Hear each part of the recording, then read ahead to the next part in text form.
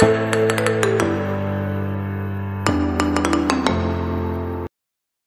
good teacher can inspire hope, ignite the imagination, and instill a love of learning. Happy Teachers Day to my all dear, respected, and honorable teachers.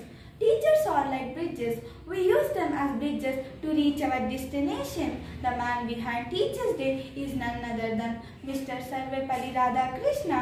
He was an Indian recipient of Bharat Ratna, politician, philosopher, statesman who served as second president of India from 1960 to 1967. He is considered one of the most fluent, distinguished of 25th century scholars and comparative and philosopher.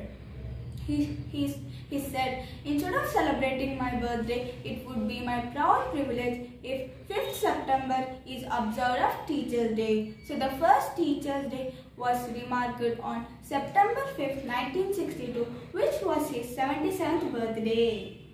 He strongly believed that the uh, future of country lies in the hands of child and teachers and mentors can hold them into future leaders who shape destiny of India. Teacher play an important role in our lives, helps us to become successful in career and business. They help us to become a good human being, a better citizen in society, a ideal citizen who who makes us a country.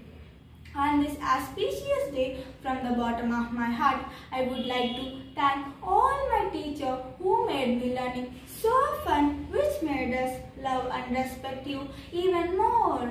Thank you so much for your extraordinary effects and support. We'll always cherish your own words. Thank you for giving me this opportunity. Jai Hind.